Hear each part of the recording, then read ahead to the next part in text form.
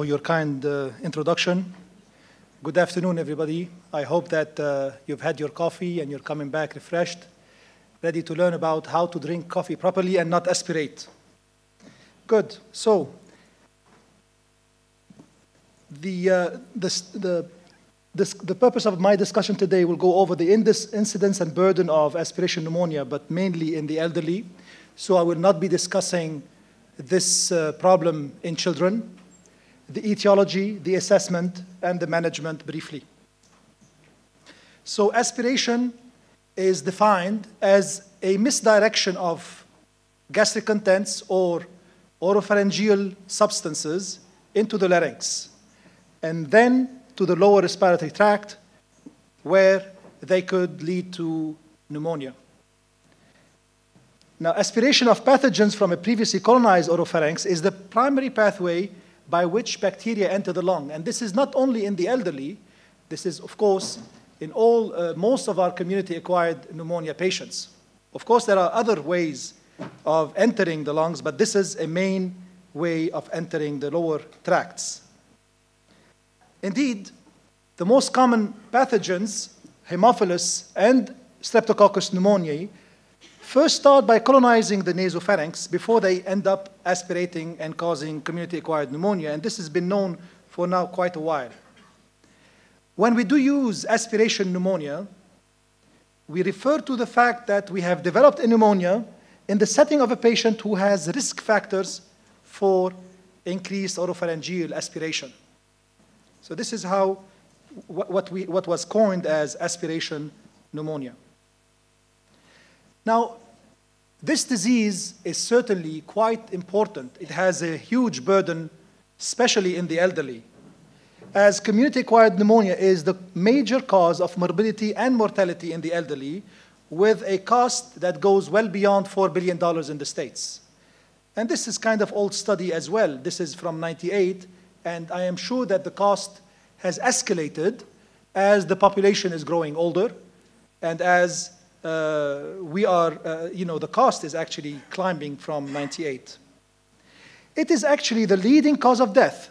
Residents of nursing homes often end up dying because of a pneumonia.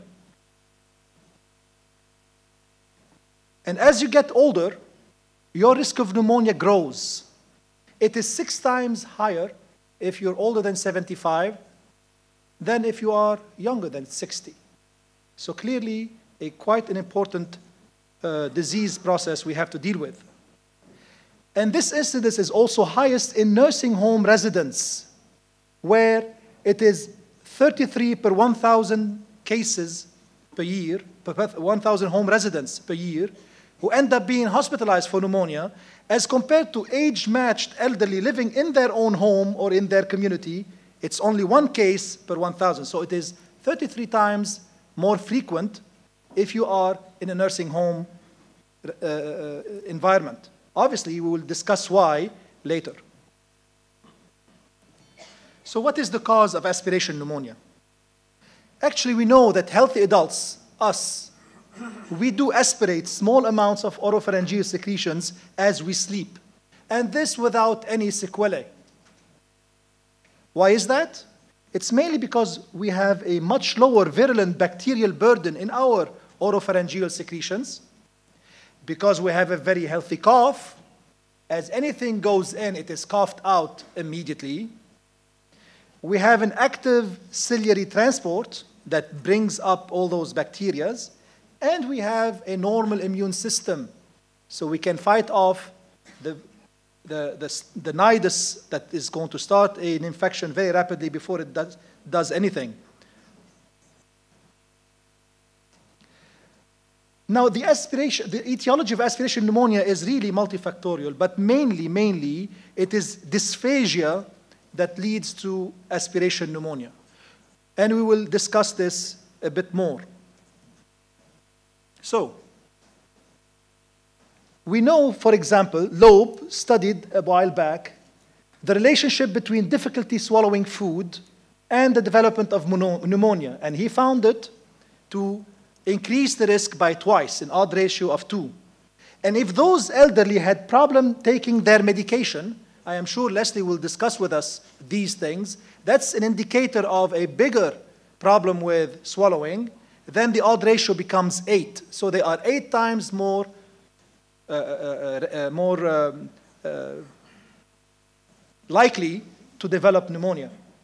And if you do witness aspiration, many times we just ask the family or the, the, the caretaker, did you, did you notice that your loved one is actually aspirating or uh, while eating?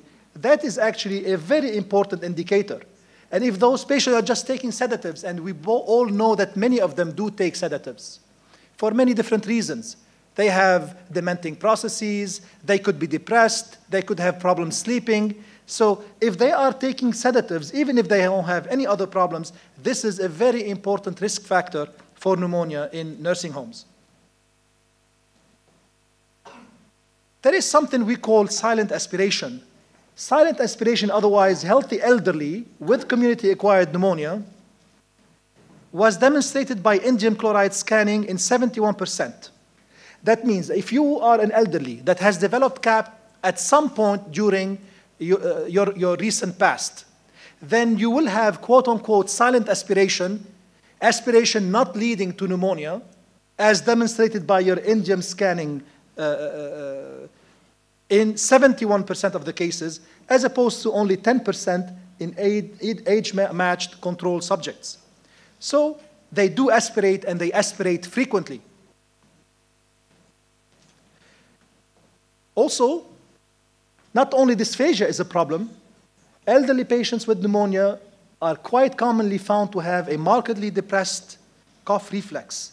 And the greater this derangement, the greater the risk of pneumonia they did measure swallowing and cough in healthy elderly, in elderly with dementia, and in elderly with no prior history of pneumonia. Uh, sorry, uh, elderly with dementia but no history of pneumonia, and elderly with aspiration pneumonia. So three groups. How they did it? They have they put in a very thin tube through the nose and drip some water and time how long it takes them to start swallowing and they found it to be 1.2 seconds in the control subjects that are not demented and don't have aspiration pneumonia. It is 5.2 seconds if you have pneumonia, even if you have never aspirated. And if you did have aspiration pneumonia, then it is delayed up to 12 seconds, so almost 10 times to 12 times more. And they also studied cough in a very nice way. They got people to inhale citric acid they noticed that the control group needed only 2.6 milligrams per millimeter of citric acid to start coughing, when the people that had dementia needed 37 milligrams, and those that had aspiration pneumonia needed 360 milligrams of citric acid per ml to start coughing. I am sure that all of you noticed this. We commonly, as chest physicians, get people into the intensive care setting, on the wards, with aspiration pneumonia. And you have to sometimes go do a bronchoscopy. I noticed that I can get in without instilling any lidocaine. My patient doesn't cough, although he has a bronchoscope in his airways. That is a very poor indicator. Very poor. Whatever goes in, he does not feel. He will keep it in.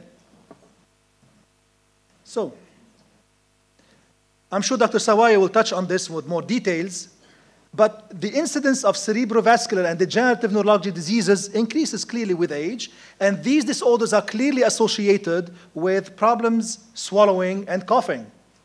And these will, of course, have an increased risk of aspiration. For example, a patient that has an acute stroke will have an incidence of dysphagia that ranges from 40 to 70%, of course, following this, uh, depending on the severity of his stroke. And this incidence will improve, of course, but will still fluctuate up to one third of the patients will still have some dysphagia a while back after their stroke. An aspiration occurs in almost half of stroke patients that have dysphagia. So here we are with, left with almost 15% of your initial patient with stroke that will end up having dysphagia and aspirating.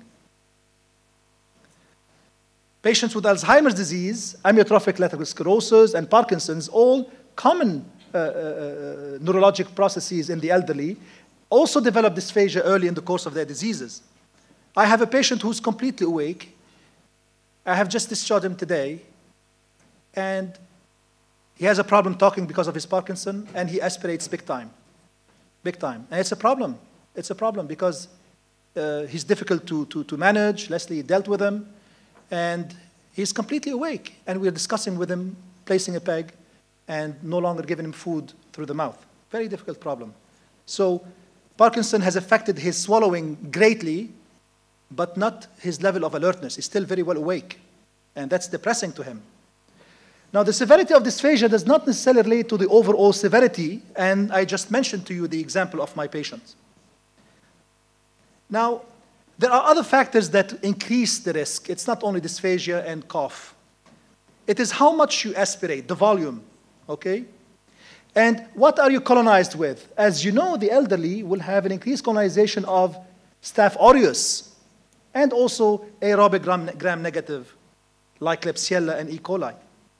So it's not only the anaerobes, okay? Uh, there's a significant number of gram-negative bacilli and Staph aureus. We have to think of that when we are choosing our antibiotics.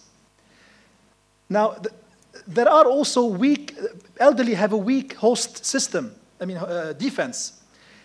They have poor oral hygiene, and they do not swallow their saliva properly. Now, this is interesting. I'm sure many of you know that. If you do not have any teeth, then you have a lower risk of aspiration than if you do have some and uh, their hygiene is poor. And if you do have a problem with your oral hygiene, then you will see much more anaerobic uh, pathogens. And their immunity is certainly decreased. Why? Because their mucociliary transport is decreased. They have a decreased pulmonary elasticity, so they cannot cough as forcefully because of this reduced elasticity. Their muscle strength by itself is decreased, and their FRC is decreased. All of this will affect the way you clear the secretions from the lung. Not only that, with time, we all know that the immune system ages, mainly seen in the peripheral T cells there is also a decreased activation of those immune cells when they are challenged with antigens. So the immune system is becoming dull. Not only that, they are quite commonly poorly fed. They have a poor nutritional status. They're old, they have dementia, and they are unable to eat properly. it takes them much longer to go through the same meal. They end up being extremely cachectic. And that does affect the immune system, as measuring serum albumin by itself is an independent risk factor for CAP in the, in the elderly. So how do we assess dysphagia? I'm going to touch on this rapidly. I say that the clinical assessment is quite important. Taking a good history, as I have mentioned, is your patient on sedatives? Does he aspirate when he eat? Motor and sensory evaluation will be discussed in details. We have to also evaluate his oral control, his lingual activity, oral residues, laryngeal elevation, laryngeal excursion, voice quality, cough. Leslie will discuss that in detail. We have to also, we could auscultate the neck as the patient is swallowing, putting a pulse oximeter on his finger, and something we commonly use, give him a colored food like jello in a tracheostomized patient and go aspirate the trachea and see if we find anything within the trachea. If we do all of this, then we have a, we're doing quite well. We are quite accurate with an 80% sensitivity and a 70% specificity for diagnosing it. But there are also other ways to assess it that could be quote unquote called objective. The video fluoroscopic swallow assessment is quite commonly used and will identify clearly aspiration. Fiber optic endoscopy looking at the vocal cords, at the anatomy as the patient is swallowing, is also quite helpful. We can also use scintigraphy, ultrasonography, etc.